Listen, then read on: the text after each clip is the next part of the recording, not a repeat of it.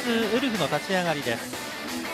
まあ非常になんて言いますかいつも通りのゴロを打たせるピッチングでしたもんね、ね、まあ、コースは、えー、甘い球もありましたけど、うん、高さは間違えてませんので、はい、やっぱりゴロになりますよね、えー。えー、1番の石見でショートゴロの後、まあ3番の清田もサードゴロに取りました。2回の裏マリン先発の唐川のピッチングですがノーアウトで1人ランナーを出しました。メヒアを出してしかし渡辺を警察団に打ち取ります。唐川の方もこうやってランナーは出しますけれどもきちんと打ち取っていくんですよね。そうですね。きっちり低めを丁寧にね、えー、ましたよね。3回です。マリーンズは先頭の大峰がバントヒット。いいアイデアでしたよね。いいアイデアでしたね。ちょうど外国人のね間をね、えー、ただ吉田がバントをファールしてしまって結局追い込まれてね。これがやっぱり大きかったですね、えー、ここでランナーが1人も進められず、はい、しかも、ダブルプレーと、やっぱりロッテ側からすると、痛かったですよね。何かこう流れを手放してしまった感じがありました、はい、でそのすぐ裏です。3回の裏ツーアウトから秋山の第5号ソロホームラン。もうセンターも軽くバックをするだけという感じの打球になりました見事なホームランでしたね。そうですね、ナイスバッティングですよね。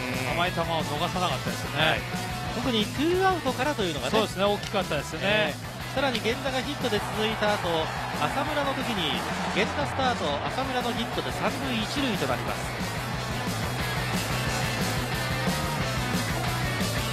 そしてここで中村剛也がセンターへのタイムリーヒット。しっかりと打線打点を稼いでいきます2対0とリードをします。試合は5回、まあ、ここが一つウルフにとってみれば勝ち投手の権利のかかるイニングです。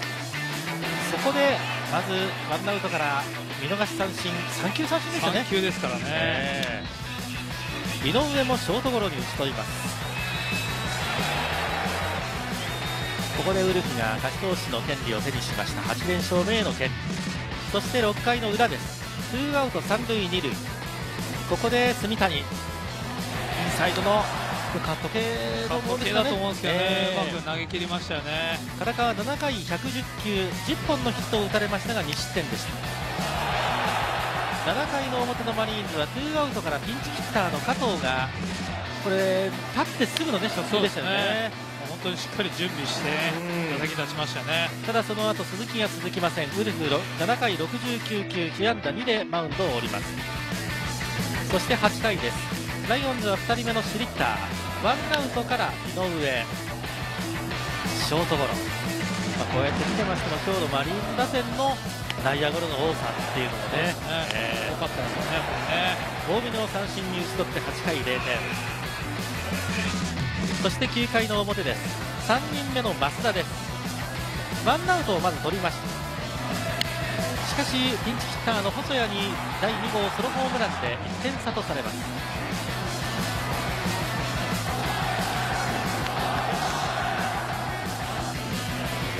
しかしツーアウトを取って荻野隆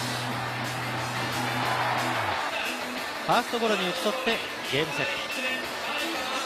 2対1でライオンズが勝ちまして連敗を4でストップしています。さあそれでは勝ちました、えー、ライオンズ辻監督のインタビューです。